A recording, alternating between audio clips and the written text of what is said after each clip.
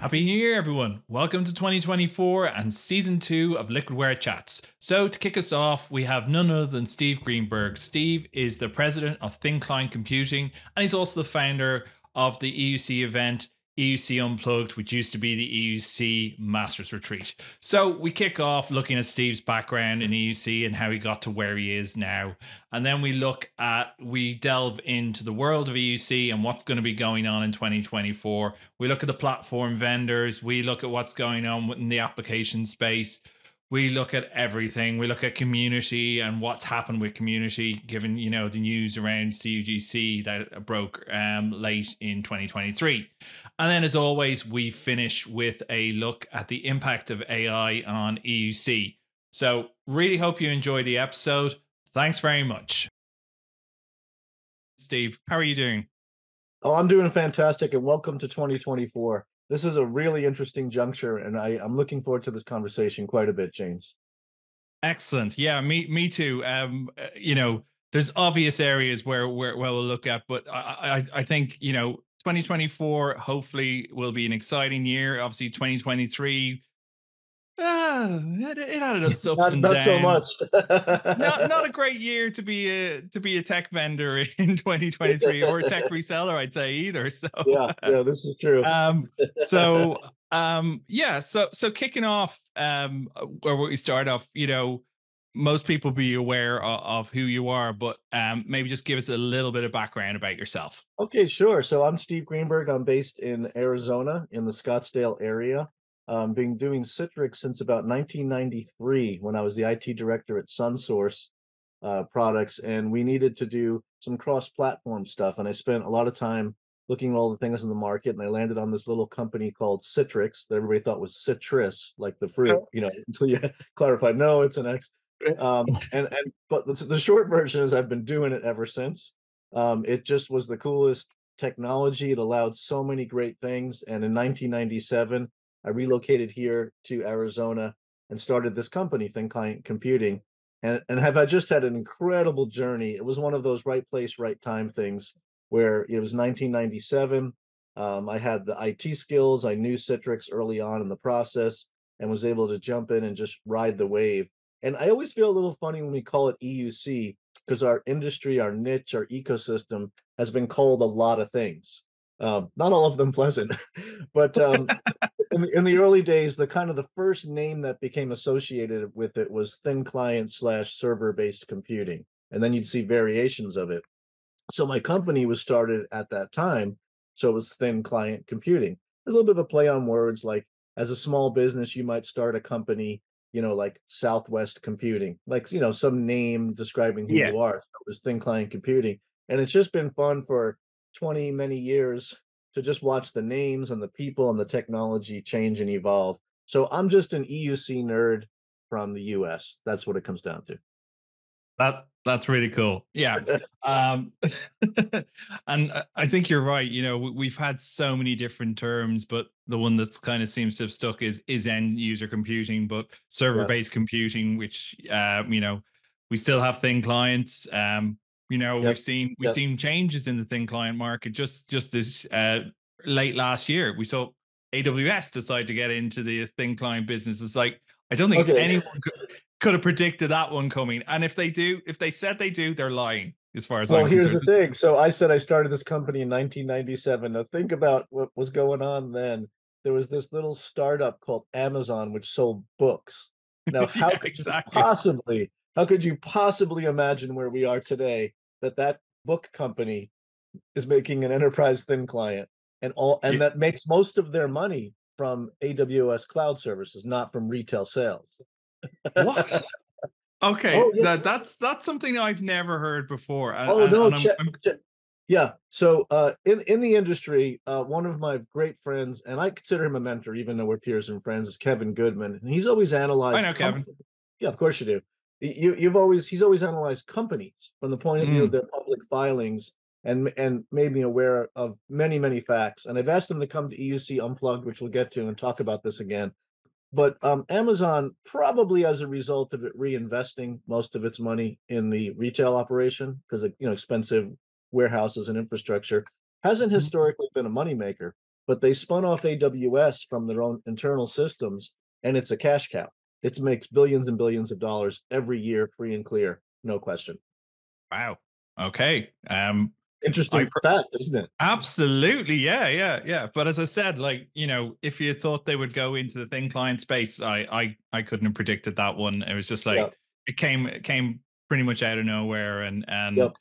I think we're now, that's why I'm of... very hopeful about 2024 though, because you're gonna you're seeing a new era, right? So I would call the you, you know, you make things up the year of this year of that but I would simplify it down to. I know where you're going for a second. it's not the year of VDI. I'm not going there. It's never happening. Yeah. What, what Every year is the year of VDI. It's, exactly. You know, yeah. What I'm saying is that the the all the years to get to now in EUC have been the ramp up, the ability to deliver apps and desktops, protocols, security, um, management for deployment, provisioning, et cetera, like and pro- profiles and performance yeah. management, right? Now linking to cloud, running workloads in the cloud. I think going forward, we're in a different phase. We're in like an optimization, monitoring management, user experience phase. Um, people have floated DEX. I like the liquidwares going with post DEX in terms of I think that's where we're at. Yeah. At this point but you it's it's tools and processes that simplify and make a good user experience. We can deliver apps we can l- deliver desktops. The heavy lifting's been done but it's now how do you optimize it make it part of a normal business flow? And who are the players? It's 2024 it's like whoa this game board has been all shuffled and crazy let let's get into that a, a, little bit further. Let's let's start where it all starts the platform vendors. And you know the the obvious two that we we have to talk about are citrix and vmware. Citrix obviously have gone through this massive acquisition. Um you, you know but there's still some turmoil going on. We saw just before i think it was just a week ago that you know over a thousand people were were let go of Citrix when we thought that was all done and dusted, and then out of nowhere, um, and you know, I I think it's it's that coupled with what's going on with VMware, I think has made um, it's kind of created a, a, a pause with what customers are doing in the market because they're kind of yes. like, you know, people are going, well, what's going on here? Is is this is is this company I can bet my future on? And then obviously that just plays right in the ha- into the hands of Microsoft because they're stable, they're doing, you know, slowly creeping along, making AVD uh, AVD better and better, and then you've got Windows 365. So it's mm-hmm. like it, you know, for years, yes, everything ran on Microsoft,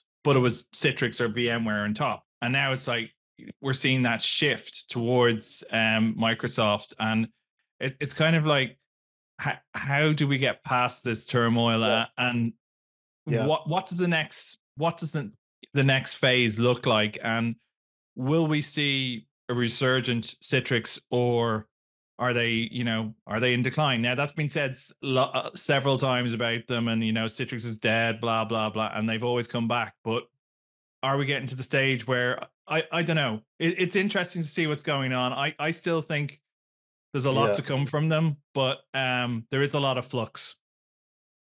Well, boy, this is a big subject, um, isn't it? I, am gonna I'm gonna fork it into two conversations to keep me on track here. Okay. Yep. One is not where I expected to go, but I want to bring it up. There, there's there's kind of like an emotional, and then there's an intellectual or a business side. Let's talk mm. about the emotional for a second because we're both um, community group leaders, right?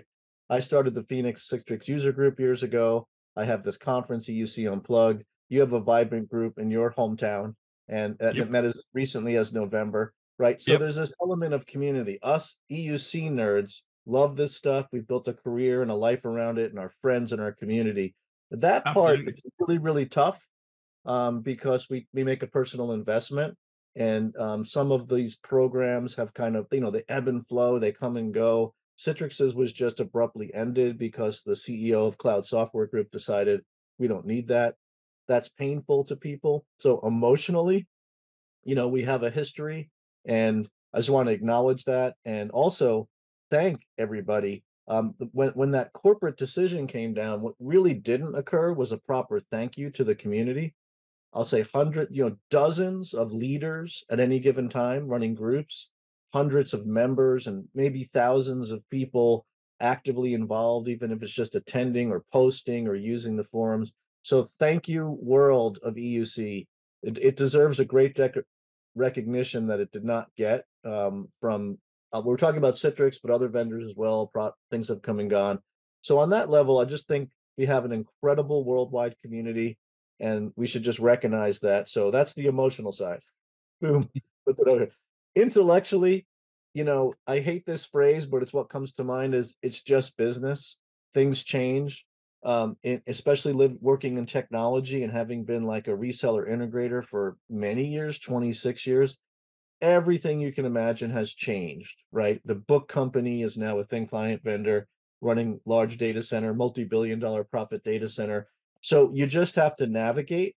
But the, the thing you have to understand now is the speed of change is so fast the way I describe it is we used to sit on a product for a few years and learn it and optimize it.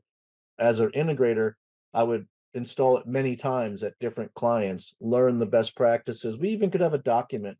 Here's our best way to do this. We'd always modify it. But today, it's almost like every time I look at a situation, I have to start over. The technology, the vendor change. This has been acquired. It doesn't work that way. They dropped this feature. Um, the new firmware has a different behavior and it's okay you have to embrace it if you can embrace that in a kind of a beginner's mind or i won't have all the answers mo- mode you'll be fine you have to navigate and i am actually answering exactly what you said in terms of microsoft citrix mm-hmm. right what, yep. what do you choose you've just got to choose the best tool and and you also have to navigate cost and price because when these companies like vmware and citrix change it becomes real difficult to navigate they change to a mode of charge the full price. And as an experienced reseller, I'm seeing Citrix customers get insane quotes for like renewals or upgrades. And with my experience, I'm able to go in and get it back down to where they used to be. So that's mm-hmm. a little hint I want to drop out there. Negotiate those things because I'm hearing people say, "Oh my God, Citrix just sent me this bill. Who are they? They're crazy. Let's drop them." It can be, it can be changed. So yeah, I'm just rant. It's keep me in yeah, mind. No, abs- absolutely, and, uh, and I, I get where you're going with that. You know, yes, you know we've seen these massive pr- pricing increases, but as you said, it you, you know that's where your your your value add partners come, where you know they negotiate yeah. directly yeah. with Citrix yeah. or the distributor and and figure those things out, and cost is definitely a factor. But then if we if you know, and and I, I understand what you're saying about the emotional side as well, because while we we use the term EUC, there's a lot of us who've come from a Citrix background, myself included. Right. Um, exactly. and exactly. you know, we've we've developed from there, but the core like you know the core thing i started learning on was like uh, i think the first certification i have is like presentation server 3 so okay. you, you know it, it, goes back and then i've kind of grown that as the years and uh, uh and similar to yourself but i'm sure it's like WinFrame something. WinView actually even before WinView. Yeah even yeah exactly yeah. So so yeah as i said there's that emotional thing. Um yeah it it's and then i suppose the, the the one to look at is is the other one is, is vmware who the other big player you know have been head to head with citrix for years um very um you know in terms of technologies similar stacks can deliver you know there, there there's they, they you know they've had the market share between them for for quite a while and microsoft has slowly been building that up but there. You know, you know I'll interject. If, if you if you remember yep. the kind of advice that you probably uh, said this many times or heard it many times, but as an IT person, people come to you and say, "What kind of laptop should I buy?" or "What kind of desktop?" And and and like the the the common sense answer we've all sort of developed is buy what you need now because yeah. you don't know what the next model is going to be. You don't know when the price drop is. You don't know what's coming next. And believe it or not, I think that's the advice for this confusion that you're describing. VMware, hmm. Citrix. There's a history. These are leading products. Do I use them? I think you just have to kind of push all the noise out and look factually. That's why I said intellectually, it's just business. What do yeah. I do? I'm I'm I'm a customer that's used Citrix my whole life. I don't know what's going on. I had a big renewal bill. Do your best with the renewal bill. Stay with it. See what happens. Right. I'm a I'm a Horizon View customer. I don't know what the heck's happening. There's a rumor they're going to sell off the EUC division. Well, you can't stop running your business, right? No. So what's in front of you now, and if like if something happened bad, you just have to accept that that was out of your control. I know it sounds sort of pat or almost like self-help information, but you can't control all these factors. No, you you you really can't. And as I said, you just need to do what's best for your business. And um, right. obviously, with a lot of businesses, there's a dependency for uh, maybe a particular application, be it some if it's in healthcare, something like Epic or something like that. Whereas you know you need exactly. Exactly. So so it depends on on the requirements of the business. Yeah, very true. Yeah. Um yeah. So so I suppose we've dealt with the platform. you know, kind we, of. we, we, we kind Let me say one more thing. Let me say one more thing. Um, absolutely. I've been tied to the Citrix camp, so I, I haven't deployed much VMware Horizon View, although tons of VMware hypervisor, right? Yeah. Um, on Citrix, you, you have an interesting situation because the people in charge of Citrix, like Sridhar is the general manager, and Chris Fleck, and a num- number of people are still there from the old days, and mm-hmm. they're doing a great job with the product. There's not, they're actually doing a better job with the product and features and updates, reliability, focus than ever before. So that's part of the confusion. The business headlines make you nervous, but I actually see great things happening on the product and, and an investment in engineering. So abs- abs- absolutely, and right. then you know things like you know bringing back terms that you know we well most of us never dropped like i never right. called a netscaler an adc in my entire right. life never stopped. I, yeah exactly it, yeah. exactly so so and the fact that that's you know that they've got a very defined message when it comes to netscaler CVAD, there seems to be lots of development going on there. Um, so yeah, no, there's there's there's lots going on that um is is I suppose that they're uh, it's it's taking engineering you know engineering is happening and innovation is happening. So right, so exactly. um despite the noise from that others might be making there is actually innovation going on at citrix. So um and and by the way if i can just riff on liquidware. So liquidware is a great example of something that has bounced along the ocean of changes right? We're finding liquidware really useful right now um, we thought, you know, the profile wars were solved with FSLogix, and they weren't.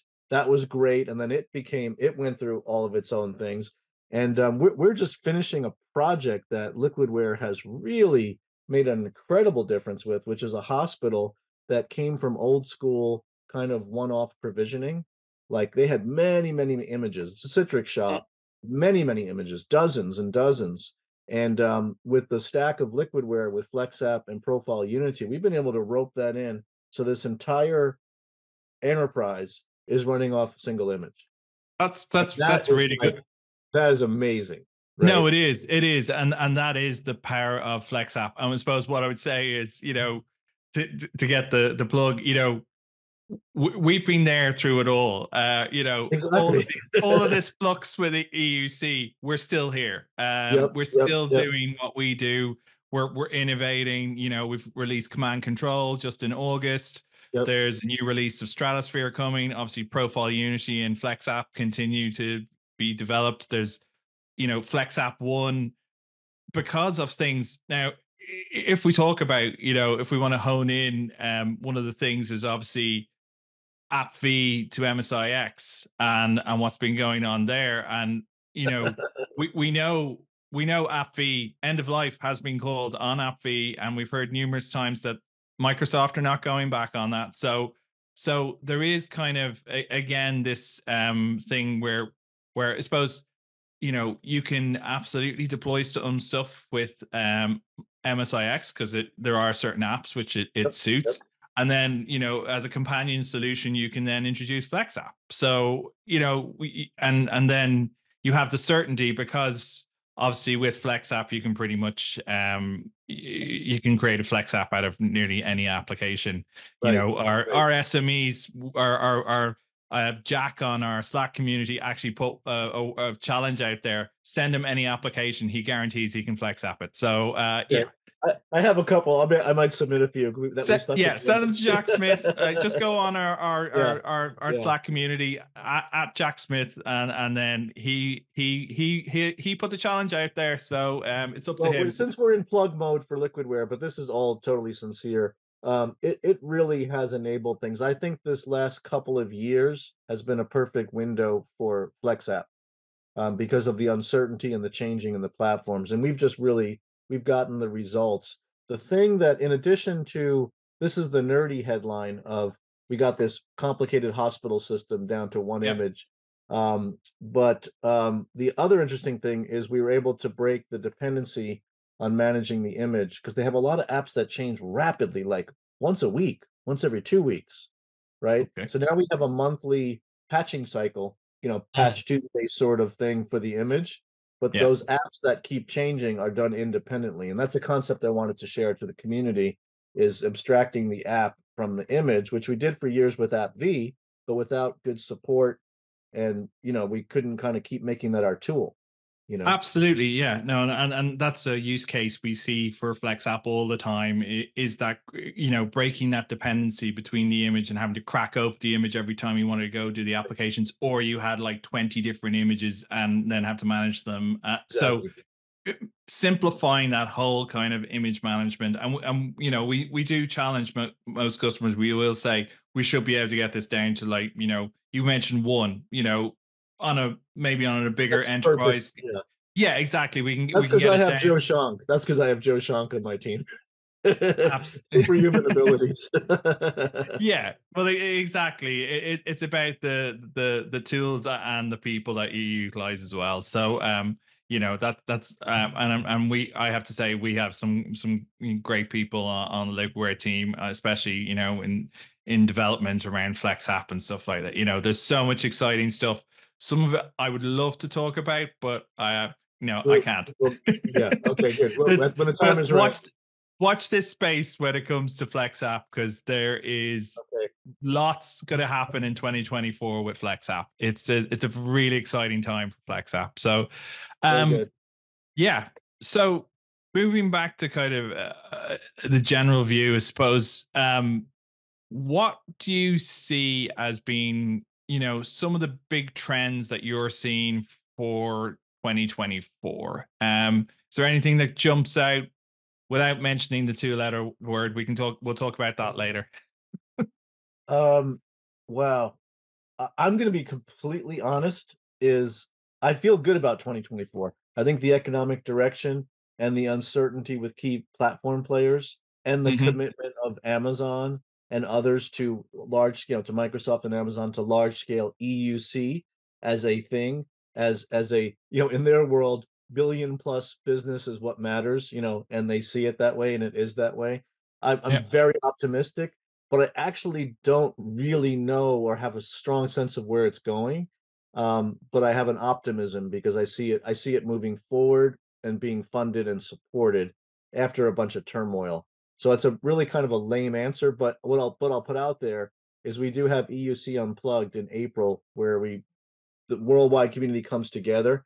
And I'm really looking at that as a nexus of um, getting a temperature on where we're at and and some other viewpoints on where is this all going and where to align. But what I always do is I align with the customer because I'm I'm an integrator, I'm a consultant. Absolutely. Do, you know, complicated systems. I align with the customer. What is their need? Um, I never put my preferences over that. So, but I don't have a good prediction. I just I feel positive. I know Is it's going to be more of a of a service orientation and mm. more of um it should be simpler in a way. Um but I don't know. I, would love to hear what you think. Uh, well, I suppose uh, you know the one of the big things I think is um you know w- with EUC we try and make it as simple for the end user, but there is so much complexity going on in the background. Exactly. Yeah. And I, yeah. I, I think I think that's where we need the simplification is yeah. that, you know, whereas um oh god, I'm gonna have to mention it.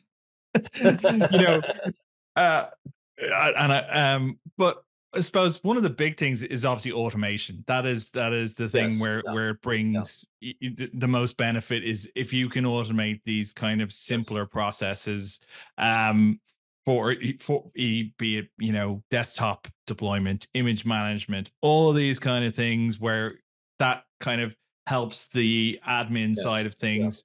Suppose from a from a customer side of things, and and you've probably seen it yourself, like Dex is becoming, you know, front and center. It's it's becoming a metric for Yes. companies that Yes. they, you know, end users don't expect don't accept what we, you know, in the past we would put out lockdown Citrix desktop. Here's your Yep. published applications. You can do what we say Right. you do. You know, the the generations have moved on. It, it, it's not that's not acceptable. And I suppose they actually have a voice now as well because we obviously deploy things like user sentiment surveys. So I, I think Dex is going to become more and more. And I suppose when it comes to Dex, and one of the things is, you know, how do we define Dex? Um, and are we being led by by different people about what is Dex? Whereas, um, you know, or a Dex solution must have this particular component. Uh, But I think okay, that let, let- let me go on. interject because um, we have a, a, a, a, a very current experience that's pointing to exactly what you're saying. I'm going to go back before Dex. We had this situation where we can monitor the environment. All the lights are green, plenty of RAM, CPU, but there's still experience problems, right? That's kind of a traditional thing. Then Yeah. we have Dex. Let's measure the user experience and that's been wonderful. We we do this. This is our methodology. We have like monthly and weekly meetings with customers. We're reviewing Dex reports and metrics, um, and that's fantastic. I love it. That's the era we're in of user experience and and management and ease and process. Um, but we just had an experience where all of our monitoring tools and our Dex, our tools are coming out great and this the customer did a survey with the users and uncovered a lot of negative sentiment. So i said earlier emotion intellect yeah, dex getting into the world of perception now and uh, and this is a whole other thing which yeah, yeah which, which has been a part of my practice because when i do projects and i've i've done these at major conferences i've explained this methodology it's called the end user agent. It's a way Mhm. to go into a business and find out what the heck's going on and what the users really experience that is still not dex is still not there but that's the human bridge yeah. And is it the case in some cases where if you're say deploying user sentiment surveys, do end users go perceive that there is a problem when there isn't actually a problem because that's the human element of us. Yeah, Well, yeah. is there a problem? Am I actually experience a problem um, right when it's just so it, it alters their perception? so, so this is really funny. I'm I'm laughing so much because one of the big transformative um, projects I did years ago was at Mayo Clinic when we first had the ability to virtualize and do Citrix as we think of it Mm. at scale, and um, we did it. And the greatest moment of that project um, was when it was over. The the project manager was a fantastic guy who had been a trauma nurse before going into IT so he's very familiar with the people. He he he Yeah. knew everybody, like you know, from multiple careers. And Mhm. we, we did one last walk. You know, we sort of like hand off the document. Every everything's done. We did one last meeting where we walked to the hospital to the different pods where these new the thin clients were being used and tried to Mhm. interview users and talk to them and get their feedback. And the greatest compliment was that they were annoyed with us because we were interrupting their job and they didn't care, they didn't see, and they don't they don't know. In other words, they didn't know we had changed everything from broke ass local processing to Yeah. centralized awesomeness. And the greatest compliment was not noticing, if that makes sense. Absolutely. Yeah. Yeah. No, no, I get that because I, you know, I've I've seen it before in the past. Like a, a user would say they're they're using their local PC and then they go to Citrix and they're like, oh no, it's it's it's slower than my old machine or or something. So yes, Right. the absolute greatest compliment it is, they didn't even notice. So, and Now, that's what we want. that, what you know, when when when when someone says, "Well, I, it's slow. I have a bad experience." Okay, well, how are you accessing? Are you at home on your Wi-Fi? Are you at Starbucks? There's lots of questions, and I- and I went to that just to say that the tools are great. The focus on DEX is wonderful. That we it's a term and it's tools and we use it, but there is still a human element, and and you do have to talk to people and and really also sometimes just go witness their experience. Yeah, yeah, and I suppose that that is is harder if you're say, you know, looking at an enterprise environment globally distributed, Right. Then you have to utilize that that but as you said that that you do need that kind of human element and you know, that's where I suppose the the the user sentiment surveys do become useful because you kind of get that that insight. And I suppose it, it's all about how you phrase things. Um if you just said was you you know, if you keep it very general, you're not going to get much information. But if you kind Right. of probe Right. the user and ask for more specifics, then you can kind of uh, delve into it. So I suppose, yeah, Yeah. I I I, I think you know uh, the the term I've used is you know, and it, it's been called end user computing, but the, the user is actually important now. Yeah. So Well, when everyone gets really frustrated when we have outages or big problems or everyone's losing, you know, losing their mind in the middle of things, I always say, this all would be awesome if we didn't have end users. To point out, like, you know, yeah. what's the point if no one's using it? yeah it- it- yeah exactly and it, it it kind of so so just going back a little bit um we talked about community and um one of the things you mentioned is obviously you run a uh, community event called um euc unplugged That's i think it used to be called the masters retreat if i'm remembering That's correctly right. Used to be the EUC Masters Retreat, and not for any real strong reason. We just wanted to sort of rebrand it, refresh it, and we went with the EUC Unplugged. And then afterwards, we realized that Liquidware had Liquidware Unplugged. So I called Jason Smith and asked him if it was okay, and he said it was. So we didn't steal it, but it's the same flavor of let's get rid of let's get rid rid of pretense and formality, and we're going to unplug and just get together and really put our minds together on on stuff that matters. Yeah, and speaking of Liquidware Unplugged, we have one happening next week, um, next Thursday, with none other than uh, Shawn Bass. So Wonderful, wonderful. yeah, so so getting into why did you, um, you know, given, uh, why did you form um EUC Masters uh, now EUC Unplugged? What was Well- the, what was the? Did you see a gap in in Well, this in? This is a really interesting story because it's going to thread together everything we talked about. So what really happened was I started the Phoenix um, Metro user group for CUGC, Yep. and um, I I had come out of other more like programmy IoT sort of like super geekier other groups that were held locally. Phoenix is a very good tech community, and they had different format. They already kind of mastered the um, sort of open space approach. Like, so if you go to like an IoT developer meeting, it would start with, okay, what's everybody working on? And does anybody want to talk about something? There wasn't like a top down management. A guy would go, oh, I'm writing this code. Let me show it to you. Or I created this thing.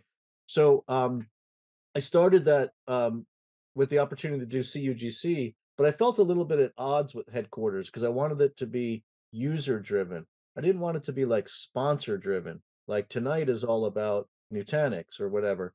And so we we kind of pushed back a little bit and we formed a great group that started to grow rapidly. And it really came from we're having these awesome meetings. And one person, I always say it's Barry's fault, Barry Flickinger, who works at Drive Time now, great Citrix admin, said, why don't we do a bigger event like a weekend retreat? And I'm always the guy that's like, great idea, let's do it. And it started as part of the user group. But the weaving into what you were asking about earlier is as companies started to cluster or support community or not, or sponsor or not sponsor, it became pretty clear to me that um, we needed to be independent. We needed to service our users and keep that independence, which is kind of how I started the CUGC. So um, it it really evolved out of an organic desire. Like people wanted more content, more contact, and it was just a local thing. And then I would tell my friends in the industry about it, and like I'll come, and then people started coming from Europe and I'm like, okay, we gotta, you know, this is this is serious. So it, it grew organically, but it was based on two things. One is the independence of truly being um, the user, and then by the user I mean like the attendee, um, what matters to them. And after 20 plus years of doing conferences, which I've loved, I, I you know, I loved all the conferences, the synergies, the BriForums, everything. And I spoke at them for years and years and years and kind of mastered for my personal goals the ability to do that. But they weren't what I would want to do. If I was going to go to a conference, it would be chill. I would have plenty of time to talk to people because I'd go to these conferences. I'd be like, oh my God, there's Shawn, Shawn Bass. Hey, Shawn, I got to talk to you about this. Like, oh, really? You're working on that? Great, great, great. Oh, I have to go give a presentation or, you know, the, the CTP meeting. You just never had that time to like chill out with somebody. You tried. And, and so I wanted to create an event that was basically a, the whole event was the ability to just do what you wanted and and so, so am i right in saying there's no agenda there technically there is no agenda it's highly structured all your mm-hmm. meals and keynotes and the things you have to show up for are structured and, yeah. and the spaces are there but everything between is formed at kickoff of the conference with with the people wow. who attend and it uses That's... open space meeting technology formed by Owen Harrison, who was a meeting planner and found that the best parts of every con- he was in the industry of planning events and the best parts of every conference were the break time that's when people reported getting the most done so it's it's a conference of break time interesting that's that's that's really interesting i suppose um I, I, um, you know, given where I am geographically, I, I've never had the, the opportunity to, to go, but um, hopefully sometime in the future. Um, We'd love to have you. Yeah, no, I, I, I'd really like to. Um, but I suppose, um, and I, I really like the concept. Uh, I suppose the, the, the only other event which kind of has that kind of casual laid back style for would be E2E. Um, right, uh, right.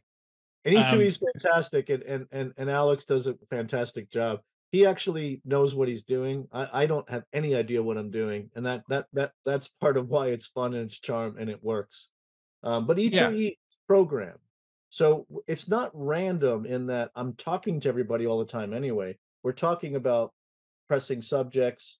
We invite people who will speak. There are planned spots because it's not random, but we leave a lot of time for it to self-organize based on what's happening. So one example would be I did, I did a lot of conference presentations over the years, and as they became more formal, they would ask you for your PowerPoint months in advance, and then you'd show up at the conference, and the CEO renamed all the products that morning, for example, right? And you spent all this time preparing, right? So we don't need to do that. Our peers have been in the industry a long time. They're mature. They they give presentations. We I do architectures and designs every day. So we don't have to be bogged down with like the PowerPoint. We can just go, what are you working on? And people will say, I'm really struggling with um, app layering right now. Okay, let's get a session of everybody who's interested, has input, has questions, and organize them.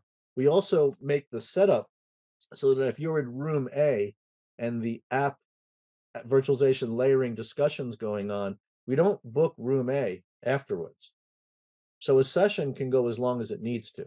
And that's that's the difference. And it happens all the time. Good okay. session will go for 2 or 3 hours and we're not interrupting them because that's what you're there for. You're important. Yeah. You know?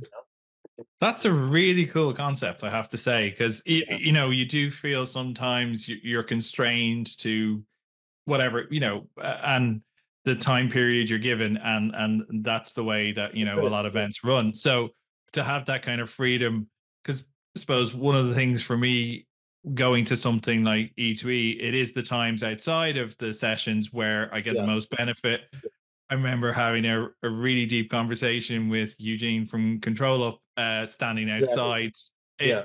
having a few beers um we were talking so about what did you guys talk about? Just I want to take an example. It doesn't matter what general topic. Oh, we were talking about AI.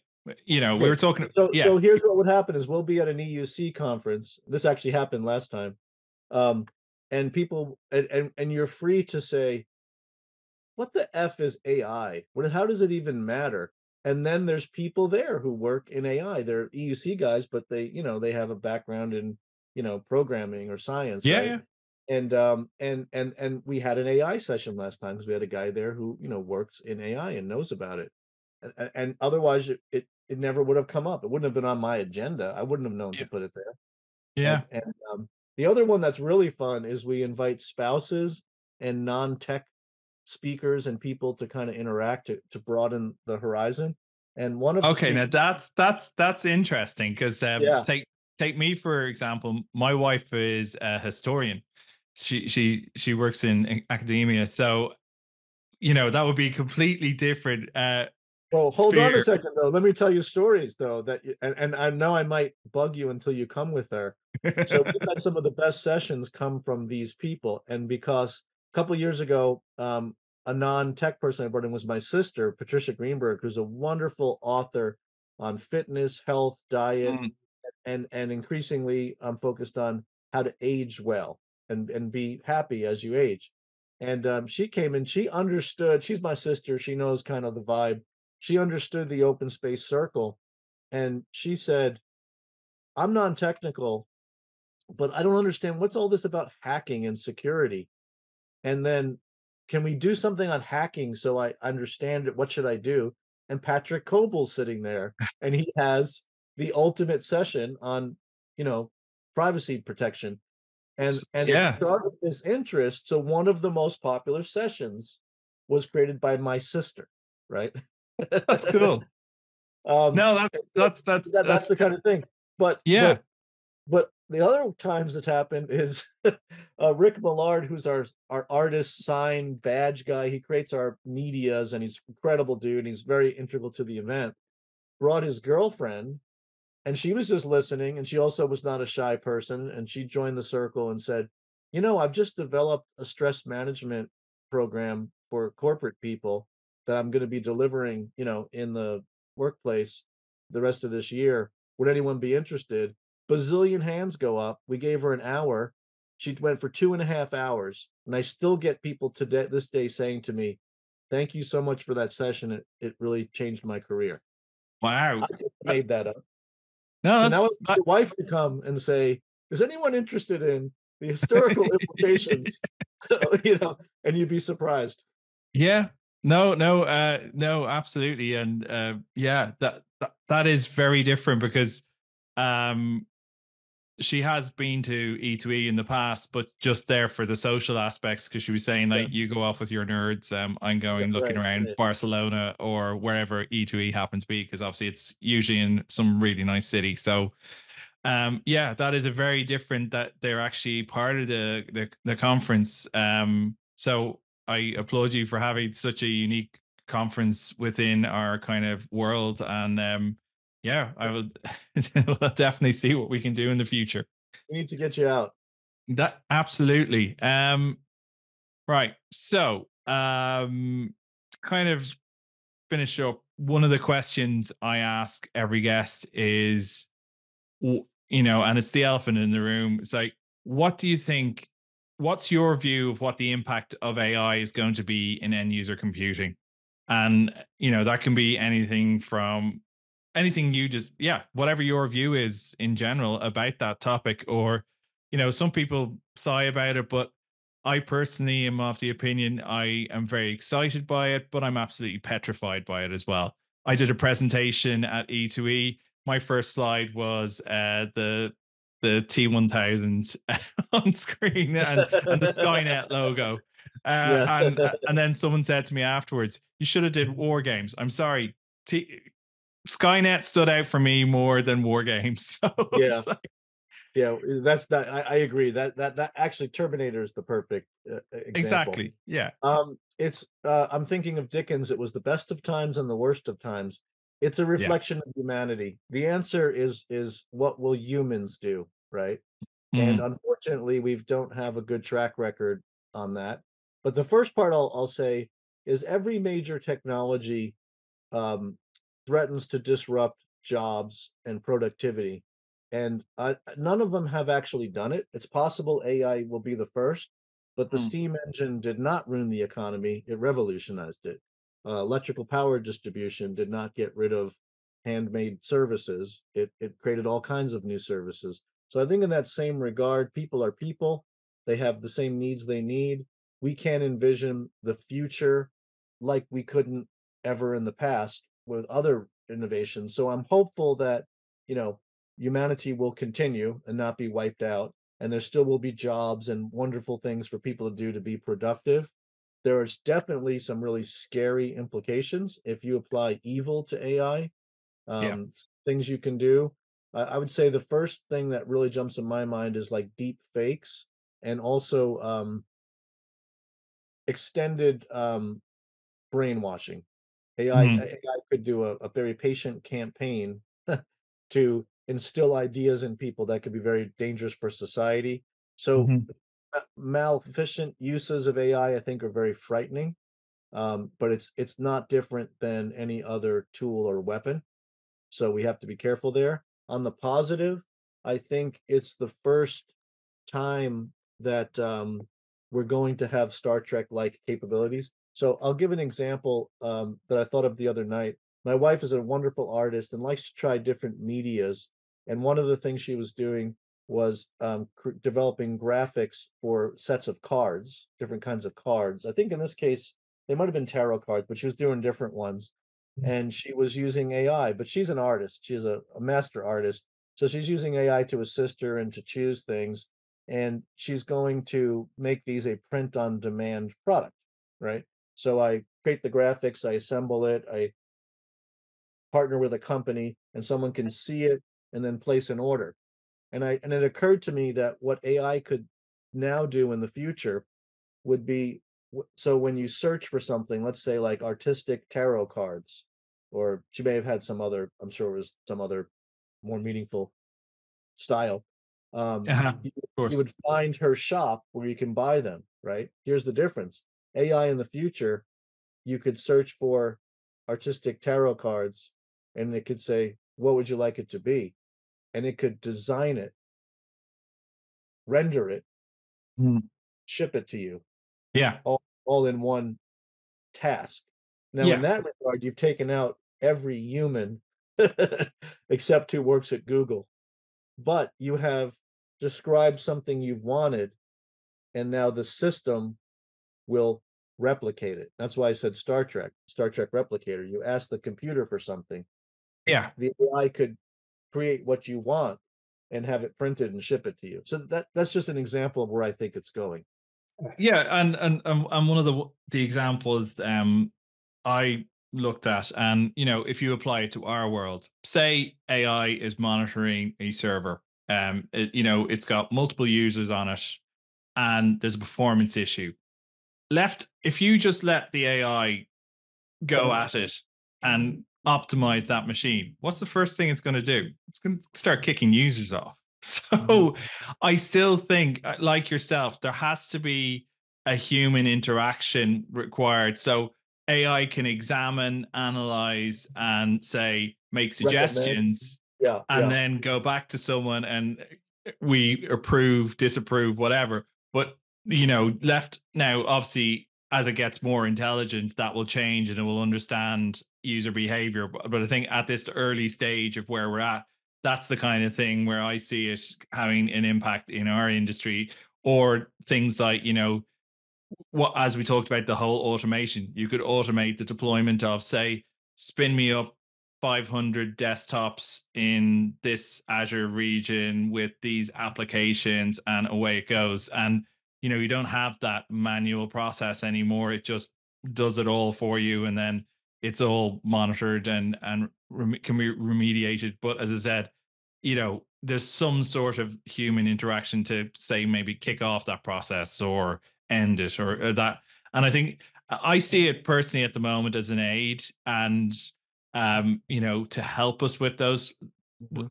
I think it can be really helpful in some of those really complex problems. And you know, I I listened to this uh, podcast the other day. It was um, Bill Gates and Sam Altman, and they were talking about you know they were talking about the human element, and, and one of the things Sam Altman said was, you know, there's always going to be problems for humans to work on. So just they might be the complexity level might be next level, but we then have the AI to aid us in those issues. So it might be at that stage, you know, which galaxy are we going to next? Because and that kind of thing. So so um and and in fairness to those guys, they're they're just as worried about the fact that potentially they you know AI could you know wipe us all out, um, and they they do want safeguards put in place around this going forward, and it's actually least, uh, the thing is the thing is at least in in America, um, it's the best and the worst.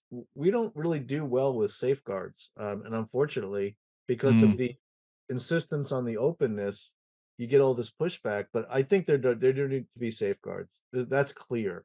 That has to happen. Yeah, and I I think in in fairness, uh, you know, as you said, Americans don't like safeguards, but um, Biden issued a presidential order around AI, and and um, you know already, yeah. and he was he was one of the first ones to implement legislation, and obviously EU a lot more bureaucracy involved, but they are working on stuff as well. So so yeah, I I think we do need to do it because I I think if you said you know let the AI do whatever it's going to do that that's that's that's the scary scenario where we don't want but for me at the moment, um, it, it's very much a, a, a, tool to help me in in what I'm doing and and you know increase efficiency and that kind of thing. And as you said, you know, none of the no no other technical revolution has you know put a put us out. Um, you know, it, it, there's always been obviously there'll be impact you know, if if we get into scenarios, say we're talking about driverless cars, then obviously people who drive uh, cabs or or taxis or whatever you call them in the world, uh, you know, th- there's a potential impact there.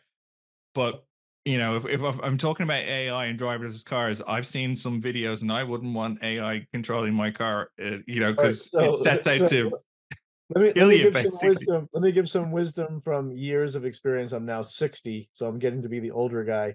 Um, every important technology actually takes significantly longer to mature than everyone believes. So the, the up you see I'm sitting in my music studio. I'm a composer and a musician. And yep. in the 1980s, uh, Philips and Sony developed the CD, you know, compact disc for audio. Yep. Um, 16-bit audio, 44.1 kilohertz sampling rate. Um, that was considered on paper to be the perfect rep- reproduction of music solved right? It's only now in the 2020s uh, and maybe the 2010s where digital audio has become a satisfactory user experience. The human perceives it and says, yeah, that's it. It's there. It took decades for just audio to get to be what on yeah. paper perfect to be really enjoyable and there and good. Yeah, so I, I still have over 600 CDs. So yeah, exactly. Um, so these things take a lot longer. Self-driving is a perfect modern example. Elon Musk saying next year, next year, next year. They're not even close. Yeah, and and I think and and to go back to that podcast, I was listening. Sam Altman was even saying he, he think he thinks that you know we've had this massive or this perceived massive leap, and the next level he thinks is actually going to take longer than people perceive. Exactly. We're right. not going to see this yep. instant. You know, we've got to the level. There's still efficiencies that can be done with the likes of GPT four and or uh, or four five. You know, it, will be incremental. The, the the giant leap came kind of, I suppose, when we all became aware of ChatGPT and then everything else that's happened since then, and yep. Microsoft Copilot and that. But as you said, I think it's going to take time before we get to the, you know, the the really, in some ways, the really scary stuff. I I, I think we do yeah. have some time on our side now. You know, there's, you know, lots of people who've said potentially it could be the 2040s, 2050s. Then some have said it could be the 2030s. There, there's there's a perception I think in the Indians nobody actually knows when the right. next kind of phase, and they don't um, fully, you know, they're building these models, but they don't know how quickly they're going to develop and that kind of thing. So, so I think, yeah, I, I see it as a, a, companion solution to what we're we're all doing, and it getting to aid us. Um, as you said, you know, if it can do good, it can do bad as well. And, yes. and you outline some of the cases. that's how it's implemented, right? Exactly, exactly. But that's that could be anything in our sphere. Uh, you know, if it, there's good uses and there's malicious uses. So um, yeah, it's it's a kind of a balancing act, isn't it? But um, as you said, I, it, it's it's kind of exciting to see where it's going, but at the same time, it, it's a bit scary as well. So it's, it's kind of a bit like a roller coaster because you know you've got that anticipation, and then you got oh my god, I'm so scared. so, Absolutely. But, yeah, but I suppose that's that's that's just where we are. But um, this has been a really good talk. Um, I've really enjoyed the time, um, Steve. I think um, we're in exciting times, um, both in EUC and in the world at large. Um, I think as a concept, EUC unplugged is a really cool thing, and um, I I think you're going to have some real success with it. Um, and I know I've heard stories. I've I've talked to the likes of Doug Brown and that you know Doug raves about you and the conference quite a lot. So and I know he'll be there. good, good. He gets um, it. Yeah, yeah, he does. And and it's great that we have events. I think like that, like um E2E um E2E VC. You know because we we have had this kind of flux, and mm. you know it's it's going to be interesting to see if we look at um, if we go back to look at the community, obviously, you know, we've seen in the UK they are now an EUC general group. The Nor- Norwegians have done it as well. Um, yep. Uh, uh, you know, other countries are obviously going to to look at it as well because because at the end of the day, we all like, eh, you know, we all like meeting up and, and, then sharing right, ideas. Yeah, that, yeah, we it's all about the community at the end of yeah. the day. So, and right. we have to have some medium. And like, this is great that you know we're utilizing tech uh, technology. You're in the US, I'm in Ireland, and we're able right. to talk. That's fantastic.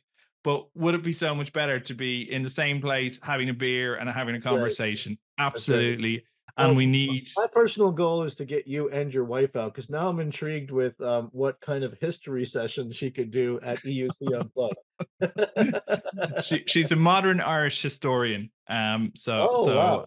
yeah okay. yeah yeah right. so uh, that's that's her focus and she's actually at the moment she's working on an eu project all around identity so and how that affects um, things like um, immigration and that you know and you, you know if you're an immigrant in a country and having that physical identity you know be it a green card a passport all of that kind of thing. So she's she's very much involved in That's that kind of thing.